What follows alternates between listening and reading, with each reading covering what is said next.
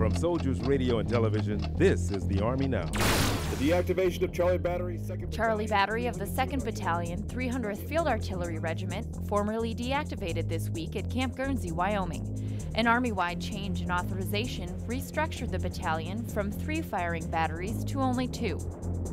Charlie soldiers, proficient in the operation of high mobility artillery rocket systems, fired one last time before moving on to new opportunities within the Wyoming National Guard. I think the soldiers are excited. We've had uh, some soldiers who have, you know, been thinking about commissioning and thinking about going to OCS, thinking about going to warrant officer school, and uh, taking other NCO roles within the within the battalion and within the brigade.